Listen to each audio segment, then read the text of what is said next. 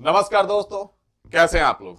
उम्मीद करता हूँ सब बेहतर होंगे और पढ़ाई लिखाई भी जारी होगा। पढ़ाई लिखाई भी कोई कमी नहीं रखना है और रात दिन एक करके पढ़ाई करते रहना है।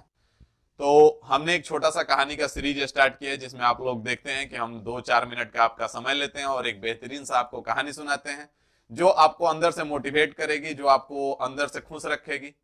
इसीलिए हमने सीरीज़ स्टार्ट किया क्योंकि सफलता, सफल होने के लिए सबसे पहले आपको खुश रहना ज़रूरी है। आपको मोटिवेटेड रहना ज़रूरी है। आपको अपने लक्ष्य के प्रति अग्रसर रहना ज़रूरी है। और यही छोटी छोटी कहानी जो है, हम देखते हैं, सुनते हैं, पढ़ते हैं तो ये हमको अंदर से खुश रखती है। आप देखते होंगे कि हमको, हमारे सामने आते ही आप भी मोटिवेटेड फील करने लगते होंगे। आप भी एनर्जेटिक फील करने लगते हैं। क्यों? क्योंकि हम हमेशा मोटिवेटेड रहते हैं। हमेशा एनर्जेटिक रहते हैं। तो आज की कहानी जो है, आपकी एक छोटी सी कहानी है, जिसमें आपको ये सिखाएगा कहानी है कि अपनी कमी को ताकत कैसे बना ले। तो ये जो कहानी है, जापान का कहानी है और एक छोटे से बच्चे की कहानी है जिसका बायां हाथ नहीं रहता है। वो जो बच्चा है, दस साल के होते होते अपने जिद पे अगर ये हो जाता है कि हमको मार्शल आर्ट सीखना है और हम सीखेंगे ही और सबको हराएँगे ही। अब जिसका एक हाथ ही ना हो, अब आप सोचेंगे, वो क्या मार्शल आर्ट सीखेगा? वो क्या कराटा सीखेगा? ये तो पॉसिबल ही नहीं है। फिर उसके घर वाले सोचे, चलो जब इतना जिद कर ही रहा है तो इसको ले चलते हैं। वहाँ के पास, ट्रेनर के पास ले जाया गया उसको। और वहाँ जाने के बाद उसको बोला गया। तो उसने बोला कि, तुम्हारा तो बाया हाथ ही नहीं है, तुम कैसे सीखोगे? तो उसने बोला कि, हमको कुछ नहीं पता। हमको बस इतनी सी पता है कि आप हमें सिखाएँगे और हम सब किसी को, हर किसी को हरा देंगे। वो भी बोला कि, ठीक है। ट्रेनर ने कुछ नहीं किया। उसको एक पंच जो है, एक उसको पंच के बारे में बता दिया और बोला कि रात दिन इसको प्रैक्टिस करते रहो। कुछ दिनों तक तो वो लगातार प्रैक्टिस करते रहा। बाकी जो लड़के थे वो क्या कहलाता है, बाकी जो लड़के थे, उनको अलग अलग तरह का पंच सिखाया जाता था अलग अलग तरीके से सिखाया जाता था। इसको बस एक ही बोला गया कि इसको प्रैक्टिस करते रहो। गुरु जी के पास गया, बोला कि ये तो ना इंसाफी है, सबको अलग अलग तरीके से सिखा रहे हैं, हमको बस एक ही तरीका सिखा रहे हैं। ये कौन सा बात हुआ? गुरु जी ने बोला कि हमने बोला, अगर प्रैक्टिस करना है, करो, नहीं करना है तो वापस चल जाओ। उसने बोला, ठीक है। गया, फिर प्रैक्टिस जारी रखा। तीन, चार, छह महीने, एक साल तक वो प्रैक्टिस करते रहा। उसी को प्रैक्टिस करते रहा। एक दिन वो समय आ गया कि फाइट करना था, और उस दिन जो विजेता बनेगा, वही सहनशाह बनेगा, वही मास्टर बनेगा। इस ई भी था उसमें। इसको भी लड़ाई लड़ना था और इसको भी मास्टर बनना बनना था। जो वहाँ का सबसे ज़बरदस्त फाइटर था, जो वहाँ का सबसे ज़बरदस्त था, उसका भिड़न इसके साथ हुआ, भिड़ंत। वो इसको देख करके बहुत ही ज़्यादा खुश हो गया और ओवर कॉन्फिडेंट हो गया। ओवर कॉन्फिडेंट इसलिए हो गया क्योंकि उसने देखा कि जो हमारे ओपोनेंट में है, जो हमारा विरोधी है, उसका तो एक हाथ ही नहीं है, उसको तो हम तुरंत हरा देंगे।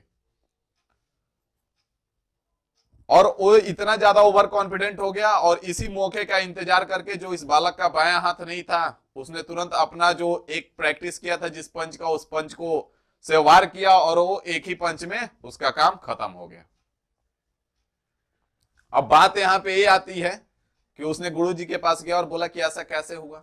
सबसे जो सबसे बढ़िया मास्टर था, उसको हमने हरा दिया। ऐसा कैसे हुआ? तो उसका मास्टर ने बोला कि देखो, जिस पंच की तुमने प्रैक्टिस की थी, उस पंच में तुम्हारा फेल होने का कोई चांसेस नहीं था, क्योंकि जितना ज़्यादा तुमने प्रैक्टिस किया था कि उस पंच में तुम कभी फेल नहीं हो सकते थे। पहला पॉइंट तो ये था, क्योंकि उस पंच का वो बहुत ज़्यादा प्रैक्टिस किया था, साल भर तक एक ही पंच का प्रैक्टिस किया था, एक ही तरीके से। दूसरा उसका ये था रीजन उसके जीतने का, कि उस जो पंच का तोड़ था, उस जो फाइट का तोड़ था, उस तोड़ में बाया हाथ पकड़ना था, सामने वाले विरोधी का कि अगर हम उस पंच को मारेंगे तो हमारा कोई बायां हाथ पकड़ ले और हमको चित कर दे, तभी जाकर के हम रुक सकते हैं। तो इसका बायां हाथ ही नहीं था, इसको बायां हाथ इसका पकड़ेगा कैसे? तो यहाँ पे आपको सीखने को क्या मिला कि उसका कमी बायां हाथ था।